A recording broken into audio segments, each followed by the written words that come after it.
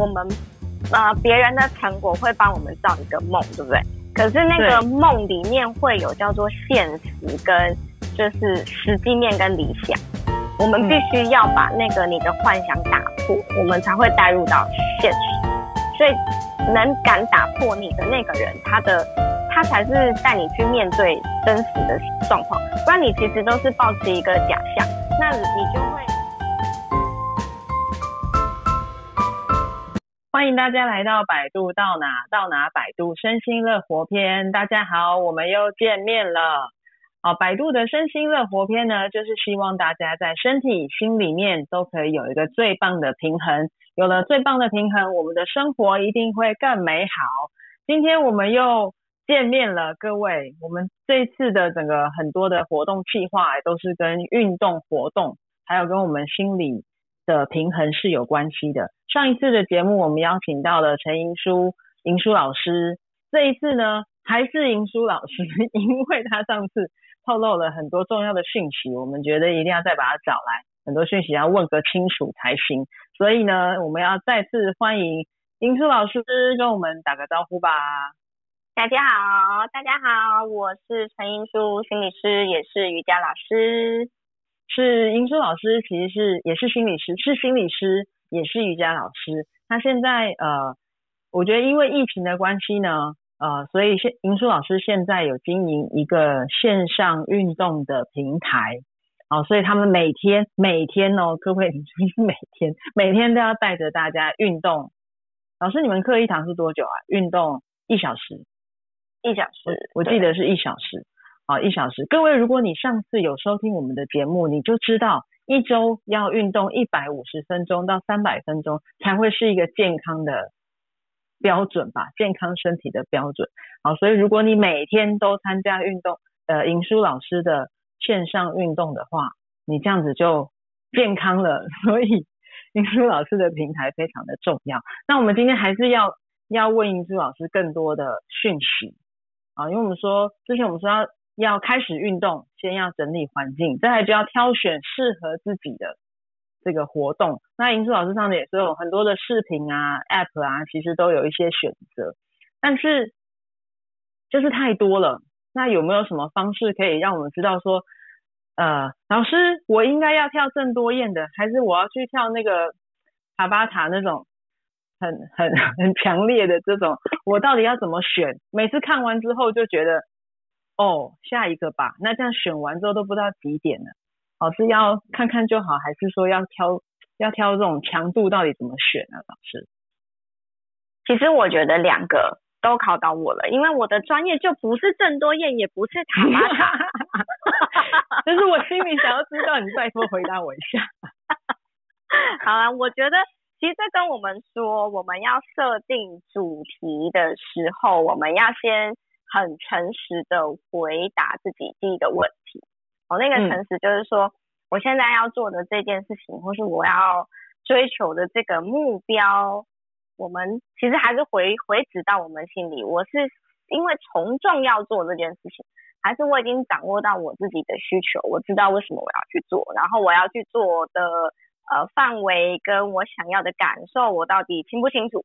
哦，这些东西如果你清楚了，那这堂课适不适合你，其实你也相对清楚。但我觉得每个人的身体应该都是可以回答，自己会有这个答案。对，嗯，因为毕竟，毕竟如果你太相信别人这么做，我也应该要这么做，那其实会受伤。可是别人的那个，别别人的目标是我想要的目标。哦，那很好啊，那你就是要先先设定出来嘛。我们说。目标有目标是好的，可是我怎么样把大目标变成具体的小目标？那是需要，它就是一个专业嘛。我们想说，我也想要像就是看得到六块肌这样好了吼。那你就要想说，那你先你得先诚实回头来看我现在的体脂是多少喽，或者是我的体重是多少？这个好现实哦，想到这里。我我还是第一个诚实，对，不是现实，很重要。要诚实，也要面对现实啊！啊，对啊，如如如果你很呃现实的去看这件事情是很残酷的，但是我觉得很诚实这件事情，你可以，它其实是反而帮你设下那个边框去去决定我现在要做到多少嘛。你说我要像他那样，那因为太远了，我们我们都知道目标设一个跟自己无关的，你要做跟不做其实是没有关系的。你看完你可以当下立刻决定，先喝杯饮料。压压惊，好，先叫个真奶，先来外带 外送一下，我再回来看看这件事情。哦，其实很多人会这样啊，因为你你的目标可能你还没有诚实的去面对你的目标嘛。那如果呃，像像有学生他在疫情前，其实他就已经被医生呃警告了，就是他是很明确的已经。呃，脂肪到荷尔蒙已经失调的状态，是嗯嗯，被医生严重的警告这件事情。可是他严重被警告这件事情呢，呃，刚好很认，刚好很很幸运的，就是跟我们的时间是搭配在一起，嗯，所以他哎两个月瘦了十公斤，哇！可是你不能看他十公斤，你要看他是两个月，而且他做了什么。他除了每天都上来跟我们一起运动之外，他也做到严格的饮食控管。嗯，然后对，然后他做了能减重的，他所知道减重的所有所所有相关的知识，而且他一下课他就会立刻传他的呃热量消耗给我。嗯，然后好认真哦。每每诶两三天就会回传一次，想要吃宵夜的时候会再告诉我一次这样子，所以我我们是他是因为这是我的老学生了，所以其实他很相他很信任我啦，所以他在做这件事情的时候他就毛起来在做，所以他因为他毛起来，所以那个十公斤不是问题啊，是我觉得还是那个准备度，然后嗯呃，但是我们都知道。就是减重跟你要去做一件事情，重点目标设定出来，你有找到适合你的方法，然后我们不断的去检核它。最重要的是那个行为要拉到一定的长度，它才会真正的是维持，才会是最后是属于你的嘛。那我们说行为改变，你至少要超过六个月以上，它才叫做维持期。嗯，而且六个月以后呢？维持期它随时可以返回来到任何一个 放弃的阶段，非常残酷的，也没对，是的，是，的，嗯，就就我之前就是确实也听过说呃呃很多方法啦，但是他确实最后还是回到像林总说，他他就是一个变成一个习惯了。如果你能够持续长久的都维持这样子的情况，那当然就就是一个已经到。就跟你的生活其实是一致的时候，这这这样子的状态，也就是会持续维持下去。所以最最好就是我我觉得蛮相信一句话：你没有感觉到改变的那个改变，不勉强不为难你这件事情，你可以长久做下去，这个才是真正的改变。嗯，可以长久维持的。对，老师这样子的目标下，我觉得我可能不想运动了。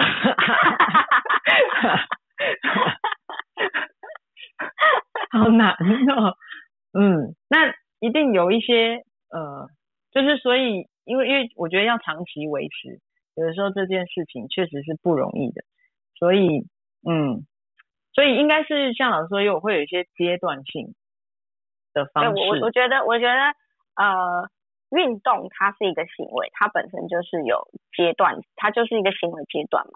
那你。其实不单是运动啊，如果我我现在在家，我很多时间，我想要学一个东西，比如说我要学英文，那你你每天要背单词，或者是你要看一定的量嘛，或是我希望那我一个月可以看一到两本书，那你必须去有那个新的行为去产出。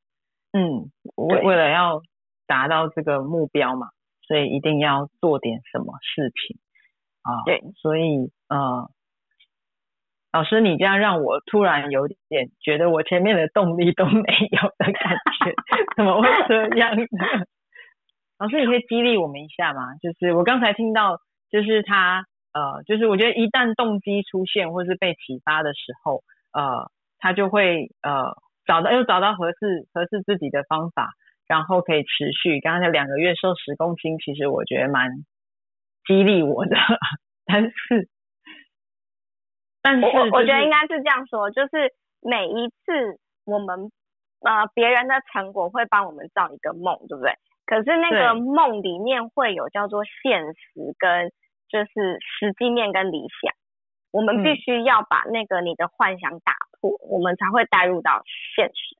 所以能敢打破你的那个人，他的他才是带你去面对真实的状况，不然你其实都是保持一个假象，那你就会没看没看到成果，也说没关系没关系，至少有运动就好，对。可是那你要先很清楚知道你的。需求目标是什么？好，那如果其实这回头还是回到你的需求目标嘛，十公斤是一个大家都觉得哇好厉害，可是如果你的体重根本没有十公斤好减，你根本不会做到这件事情。对，也没错。对，所以其实不是每个人都应该追求这个，所以要回过头来说，居家我的目标要怎么去设定呢？那呃，我们讲健康这个范围好，因为健康范围比较大哈，健康范围就是。我居家会不会承受某种压力？我心里面其实是很受不了的。哦，那个受不了就是我说不出来，可是我就是很想要发脾气，或是我我今天起床我心情就不好，因为我也不知道我要做什么事情。哦，那你你这我觉得这是一种压力管理嘛？你的身体跟环境本来就是互动，你居家就这样闷在一个固定的小环境里面，身体会承受一定的累积压力，这是一个。嗯，那你就要看。呃，活动它是一个帮你调整荷尔蒙的一个一个方式。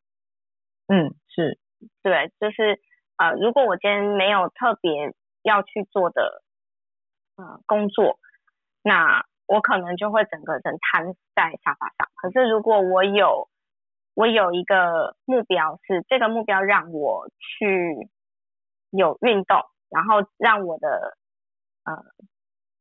各个，比如说生长激素啊，或者是肾上腺素啊，或者是我的交感神经都被启动了，嗯，好，让我的荷尔蒙有有透过这个过程去做到比较正常的运作，神经反应等等这些都好，那我就会觉得比较舒服，这是一个。然后，那你就不要再想，就是如果说我本来有潜在的一些慢性病，那这也是蛮重要的嘛。嗯，对对。然后。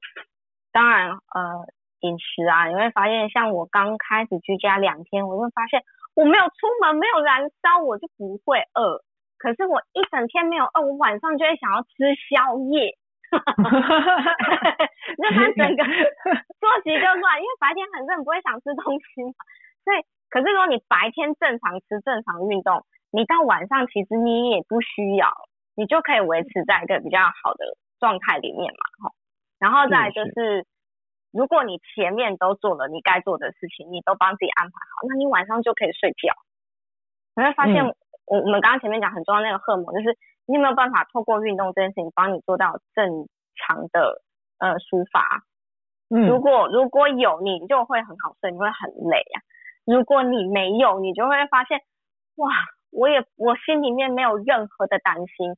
我没有任何的焦虑，反正我就打算已经继续在家了。可是我脑子也想睡觉，我身体很兴奋呐，因为我根本就没有动，所以我身体可能就更不想睡，或者是因为这个你还没有这么呃感觉到，你可能会先很很很高的能量去追剧或去做别的事情，然后把自己搞到很晚睡觉，那也是延后到那个。然后睡眠一延后到隔天早上你就晚起了，晚起之后呢，你可能就过了早餐，所以你时间就整个就会大乱了。听起来就是一个恶性循环的开始。开始，嗯，应该是说，我觉得我们过去是没有在居家的时候，是透过环境的转移，会让我们的作息跟着那个时间的节律在走啊。居家的运动其实也是在帮你做到一个节律跟一个。调整，嗯，我我觉得最基本健康有顾到这四个面向，然后把这些事情都做到，其实像我们的学生就会觉得说，哇，至少我一天有，因为我们早上一堂课，早上十点一堂课，晚上七点半一堂课，至少我早晚有一个重心在这边。嗯，对，那这个重心就会让你觉得好像还是还是有在维持这个 状态里面这样子。嗯，其实它都会是一个呃。我觉得像像银树老师提到的，它确实都是一个让自己的状态可以，也是我们很重要的目的啦，让自己可以保持在一个持续在一个好的状态，不管是呃这些行为或是这些计划，都是在帮助我们可以呃朝向一个 也是稳稳定的状态、平衡的状态，或是一个或是一个逐渐朝向一个目标方向的前进了。所以，所以确实像银树老师说的，嗯，到底自己真的想要的是什么啊？或者是你期待这个居家居家的运动能够达成什么？呃，能够让你缓解什么啊？或者是维持些什么，让你可以自己有一个更好的状态？这个也许都是，嗯，一个可以让一个改变的开始吧，或是或是这是一个比较是什么？比较符合现实。的一个目标，嗯，都会都会比嗯想要瘦个十公斤，或是这种比较我们说世俗的目标好吗？啊，我觉得大家还是要有一个观念，你居家的运动是不可能跟那个去健身房的成果比，那是比不来的，因为你你是没有你你是没有重量的，你你是没有那个很。很完整的一个训练的一个周期去刺激你的身体。那当我们有努力，就是说呃不一样的类型，我们尽量让每天是穿插不一样的类型。那在当然，因为我们教学的经验堆积起来，我们可以做到不一样。然后比如说有时候是平衡，有时候协调，有时候核心，有时候是呃一点点的心肺什么的，都包含在我们的一。我们一周这样是大概十二堂课，嗯，对。那礼拜天我们是公益课，所以礼拜天早早上十点半到十二点，就是我们也常常会有一些陌生的朋友会进来。那那个我们就招不到大家的平均水准，但这样子我们已经跟到第七周了嘛。第七周其实大家的水平就慢慢的会比较一致出来，会，嗯，对。但你说这跟我们在健身房的训练，我觉得差太多。哦，对，是，对，嗯，银银叔老师说到一个重点了，所以他有提醒我们，居家有一些限制。那当然，他他所也许银珠老师说的能够做到的刺激，或是这些强度，可能也都是有限的，所以才会一直提醒我们说，现实的考量是重要的。对，所以能做到什么程度？因为我们在健身房，我可以跟你说去跑步机，或是去去飞轮，然后去什么，然后你去保汗嘛。那我们带你做六十分钟，我总不能叫你现在出去你家旁边跑三十分钟的，那个，就现现在是不不行的嘛？不行，对啊，对。总总不能我每天说好吧，那你就开合跳一百个吧，这样子也不行啊。这样也蛮坏的，对。这样这样这样就不对啦，对不对？对，所以我觉得一定会有限制，只是说，呃，我觉得一个观念，在第一时间我就就就会跟学生说，你现在如果没有做到太大的退步，就是一种进步。嗯，对，因为其实，嗯，不运动是大部分人的状态嘛，就是居家不运动是一个你觉得很合理的常态，甚至有些人一居家他就已经先决定好，我就是要胖个四五公斤嘛，对不对？所以你只要没有，你没有增加你的体重，你还保持着你有在活动这件事情，那基本上你就是一种进步了，因为大家都 往反方向大家都没有做，太好了，这是实在是太激励了。只要你有开始，我觉得就就就就是有进步了。你你只要保持，就是尽量不要跟。就是呃，居家以前有太大的差别，你尽量保持这件事情的话，那我觉得就很了不起。你不要去想太远大的目标。那有些人是他刚好他他的他可能很相信我们哦，那也也有可能是因为我们我我们最近也有发现，就是呃很相信我们，然后呢也天天上来跟我们运动，非常支持我们，所以一个月呢一两个月下来，大家也都瘦了一点五到两公斤这件事情。